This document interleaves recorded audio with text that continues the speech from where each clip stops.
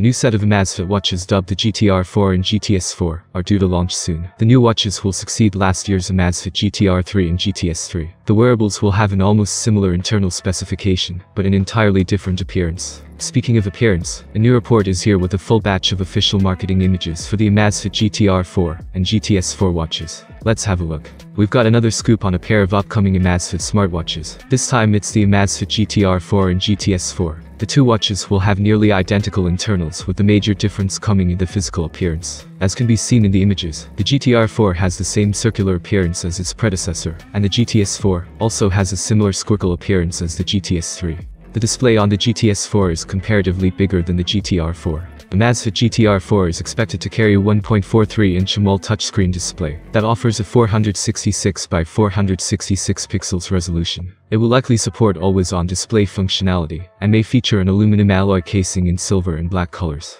The watch is said to be available with leather, silicone, or nylon watch straps. The GTS4 will have a larger 1.75-inch AMOLED panel offering 390 by 450 pixels resolution. The watch is said to be just 9.9mm thick and weighs 27 grams without the strap. It is expected to be available in black, rose gold, and brown casings with silicone or nylon watch straps. Amazfit will offer over 200 watch faces including matching main and always-on display options, as well as 30 animated versions. GTR4 and GTS4 will be able to track over 150 sports modes with automatic recognition, sports guidance and workout analysis. There's also dual-band GPS with support for all five global positioning systems. Both watches will be equipped with a speaker and microphone, with support for Bluetooth calling and independent music playback. Amazfit is also adding its new 4PD BioTracker, 4.0 ppg optical sensor, which should offer more accurate all-day measurements for heart rate, blood oxygen and stress levels. The software side will be covered by the Zepp OS 2.0 interface. Users in some regions will also be treated to built-in Amazon Alexa. Both watches will come preloaded with a bunch of first-party Amazfit apps, but will also support an enriched mini app ecosystem with apps from the likes of GoPro and Home Connect, as well as a few mini games. The Amazfit GTR4 boasts a 475 mAh battery rated at 12 days of normal usage, while GTS4 gets a 300 mAh cell, which should get you 7 days between charges. The company hasn't confirmed any details about the watches yet. We expect them to launch in a few weeks. Thank you for watching this video. I hope it was useful for you. Have a nice day and see you soon.